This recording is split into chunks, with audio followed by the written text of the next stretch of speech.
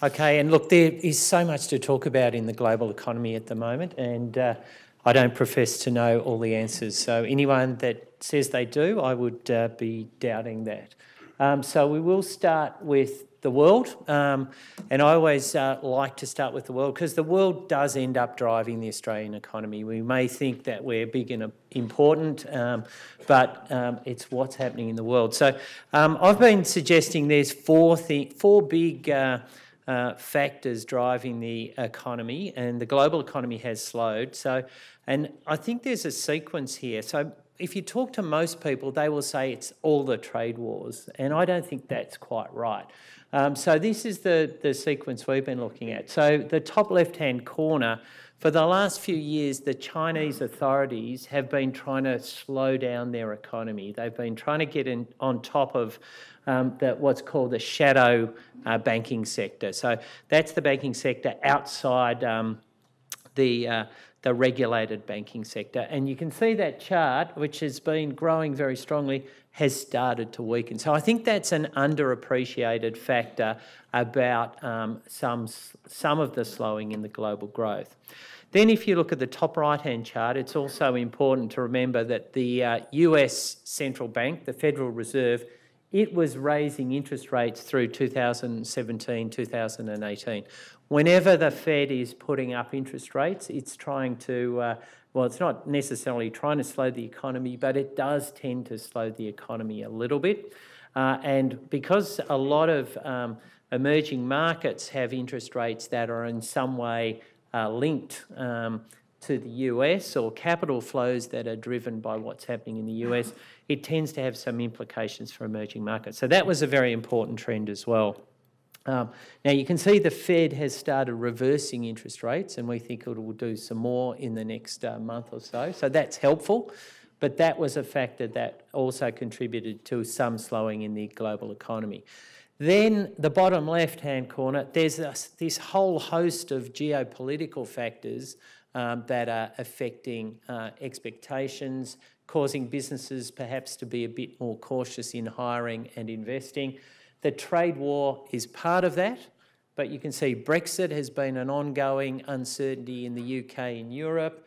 Uh, we've had issues with Iran and oil prices. Uh, obviously, we're seeing a lot about uh, Hong Kong recently, um, Italy, Turkey. So there's a whole range of geopolitical issues that are, are, are combining. And then the final one uh, that I think is also important is when you look around the world, um, car sales are are pretty much slowing just about everywhere. So there's something going on that isn't related to just those uh, those uh, domestic economies, and I think that's to do with ride sharing, Uber. Um, electric vehicle technology as well. So you can see there's a, a, host of factors that have caused the economy to slow a bit. Now we're not saying it's uh, it's slowed dramatically. We're not talking about a recession, but we are saying growth is a bit slower. And you can see that's impacting on through a number of uh, forces in markets. Interest rates have been coming down. They're already at very, very low levels. Um, share markets have been holding up pretty well. Uh, commodity price, some commodity prices have been a bit softer, um, etc.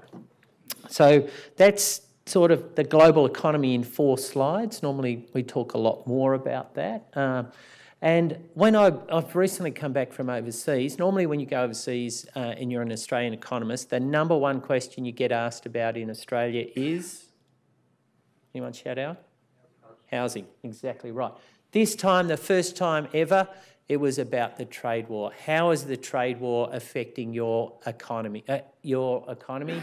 how's it affecting uh, growth? And so I think the CEOs that are coming after me to talk, if they're going overseas, they're going to get asked that question. So um, is the trade war affecting your uh, your business or how might it uh, be affecting the business? Now, what the answer we would be saying at the moment is it hasn't had that much effect on the Australian economy. We are seeing the bottom left hand corner that the Chinese currency and the Australian dollar are very closely correlated at the moment. So that's been important as the trade war has escalated and China has let its currency depreciate.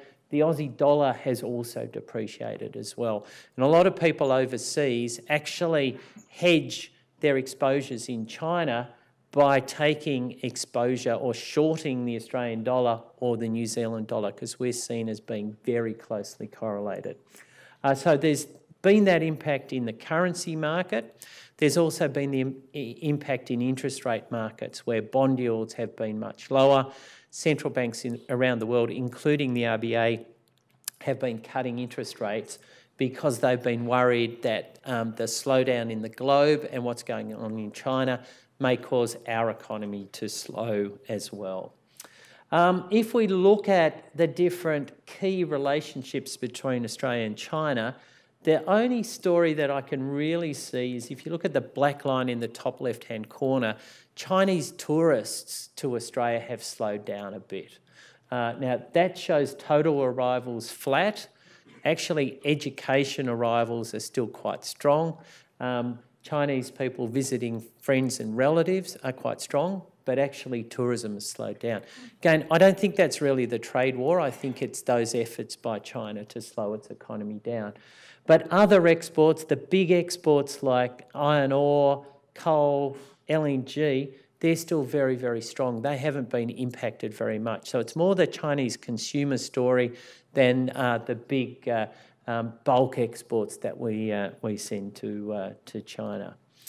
Um, now, if we then go into the Australian economy, and uh, I work for NAB, but I've only worked for NAB for five years, but I have been following the NAB business survey for a lot longer than that. I'm not going to disclose exactly how many years, but it is a long time. Uh, and this is one of my two favourite indicators of the Australian economy, and it has been forever. So if you look at what the NAB Business Survey is telling you, it does a very good job of predicting what's happening in the economy. I'm going to see if this works. Yeah. Um, so this is business conditions. So we ask 400 businesses every month what's happening to profits, what's happening to employment, and what's, what's general trading conditions like. And when this survey, oops, sorry, gone a bit too far. Um, when this survey is heading down, it generally is businesses are saying things are not as good as they were. When it's uh, heading up, things are improving. Uh, now, what we can see here is that the last 15 months, businesses have been consistently telling us things are not as good as they have been. But I think one really important point is this level is still at plus two. If you look at the early 1990s, um, that's the last time we had a recession, it was minus 40. And this was the global financial crisis when it was minus 20. And even the mining downturn was minus 10. So this is not a really bad level of business conditions. It's not saying the whole economy has fallen off the cliff or anything like that. But it is saying it's not as good as it was. And it was quite good through this period in 1617. Now, we can then split that um, series up, and I, I, think it's really important does that trend continue or does it um, go sideways here? And it's actually been going sideways up and down for about the last four or five months. So, again, it's, it's not getting a lot worse at the moment, but it's not as good as it was. You can look at a few different stories by industry. So, what are um, businesses saying? So, mining is saying we've got the strongest business conditions. And I think that's true. If you look at the profits, um, the high level of commodity prices, mining's doing pretty well. Retail businesses are telling us this is the worst part. Uh, this is the toughest um, business conditions. Now, some of that I think is slow wages growth. Some of it is structural change, the rise of online uh, retailing. Some of it is that slowdown in tourism because the Chinese are very big um, spenders in, uh, in retail. Some of it is car retailing as well. That's part of that, uh, that survey. Um, some of the services area, so household services, financial property and business services, they're holding up better. And that's a global story. Services are doing better than manufacturing. And then if you talk about manufacturing, construction, transport, again, it's down around this zero mark, which is neither positive nor negative. It's just not uh, net positive. Um, so it depends what sector you're talking about. And then across the states, they've all generally been uh, experiencing this softening in conditions. The one that has been imp- improving a bit recently is actually Western Australia, which we know has been doing uh, things tough for quite some time. So I'm watching that. It, it just seems like it has, uh, it has improved a bit recently.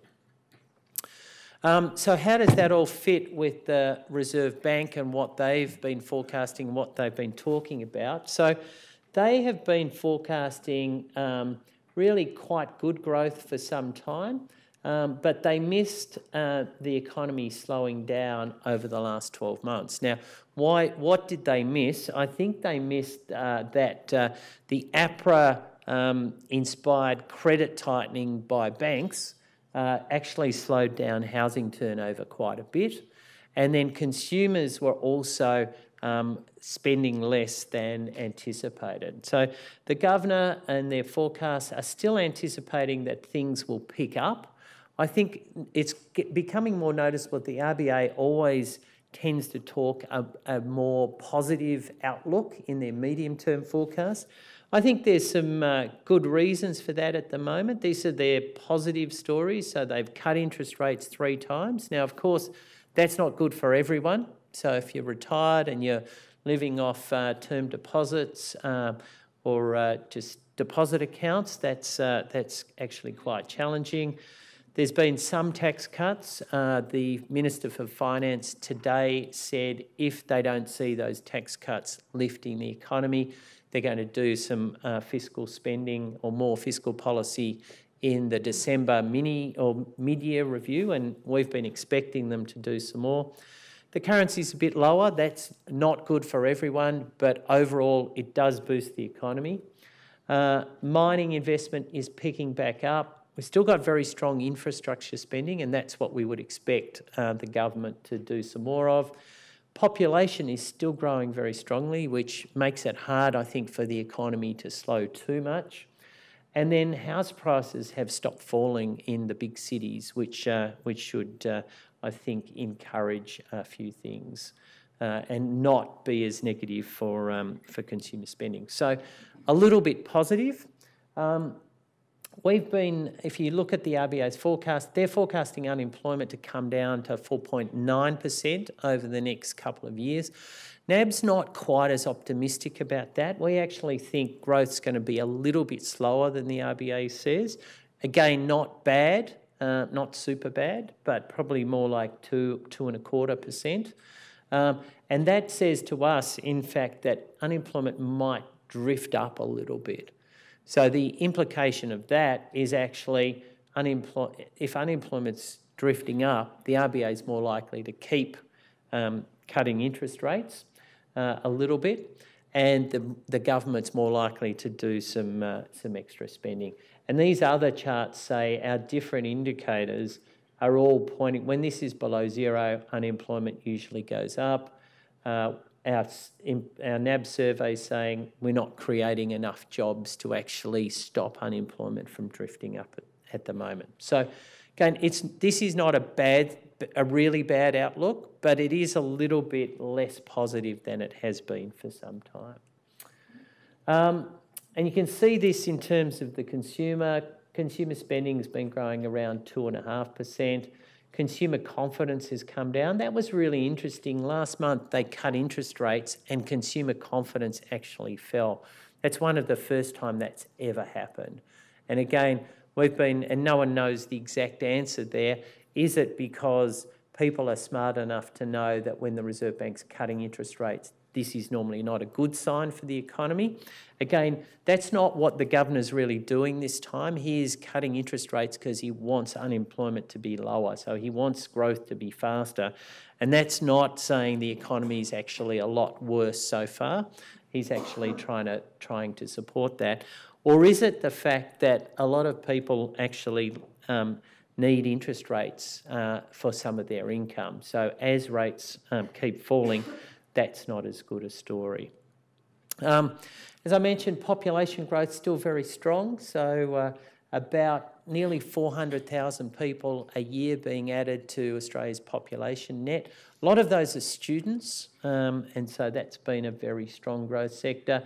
And a lot of those people are coming to Victoria and to New South Wales.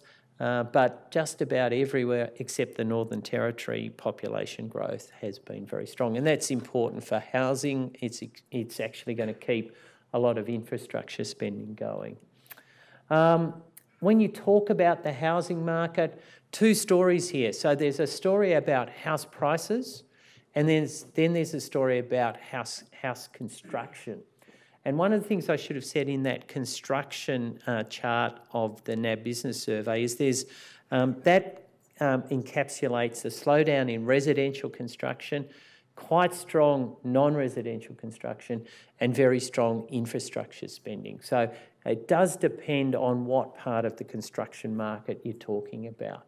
But in housing, the bottom right-hand corner, um, approvals are saying there's going to be quite a slowdown in housing construction, so residential housing. You can see New South Wales and Victoria. And we've probably, in the very short term, constructed a few too many apartments. So that is, uh, that's been slowing down. But then the cuts in interest rates are actually supporting house prices. And you can see that they've begun to lift a bit in uh, Sydney and Melbourne in, in particular. So I think you have to look at those two a bit separately. Um, and what we're seeing in our um, data is really, if you look at where people are having problems, it's all been that mining slowdown. That's where there is there are some problems with arrears. That's the red. Red is bad. Green is good. White means no one actually lives there. Um, and a lot of that green in the middle, not many people live there as well. Um, but it's, it's really been um, the, the mining slowdown that actually happened four or five years ago that's uh, still causing a little bit of problem for arrears, but we're talking about under 1% total arrears, which is a very, very low level still. Um, now, what's the RBA saying? They've been saying that um, they will cut interest rates some more if they don't get uh, see some improvement in unemployment. And the governor's been trying to talk about getting unemployment down to, to 4.5%, and we're currently about five and a quarter. Uh, now, that's why they've cut interest rates three times. We're thinking they will cut again uh, in, in December. Maybe they might do it uh, next month. The interesting thing is that if we get to half a percent, then we're pretty close to zero. Uh, not all of those rate cuts have been passed on by banks, and banks are weighing up um, shareholders who make returns from, uh, from bank dividends. They're weighing up depositors who get income from deposits, and they're weighing up lenders. So the government only talks about the lending side of interest rate cuts. Um, uh, so that's why um, the uh, Treasurer has been a bit, uh, a bit vocal recently. Um, but anyway, we will see what, what happens there. Um, the other thing they've been talking about is unconventional monetary policy, which would be new to Australia, but isn't new overseas. You know, in, in a number of places overseas, there are negative interest rates. Now, that is, a, is quite a, an unusual proposition where you put your money in the bank uh, or you lend it via a government bond, say $100,000, and in uh, a year's time, you get $99,000 back. Now, I think most people don't want to do that. Um, I can't see why I would be doing that. Uh, but you, the, the, governments are reducing, in some places, have brought down negative interest rates to try and really stimulate their economy. It's not clear that has worked, uh, particularly anywhere, Japan or Europe. I think one piece of good news is the RBA doesn't seem to favour negative interest rates. I think it's more likely that they try and get interest rates as low as possible across, um, across the whole yield curve, um, and then maybe try and get um, allow banks or help banks borrow at, at very low interest rates. Now, the implication for people that invest in interest rates are that rates are going to be very low and probably for quite some time. And just to finish up on the Aussie dollar, as I said, it's been moving with, um, with the Chinese currency. Our forecasts are that it's more likely to keep going down. We have a those upward uh, slope to the forecast a bit further out assume the US dollar begins to weaken. That hasn't happened so far, so we need to have a look at that. Um, I always say that there's two types of economists, and this is something my former mentor, Don Stammer, used to say. So some of you uh, probably read Don in the Australian. There's two types of economists those who forecast um, currencies and those who used to think that they could forecast currencies. So we'd always say, speak to your NAB uh, FX advisor uh, about hedging currencies and hedging risk rather than taking risk. So that's my presentation.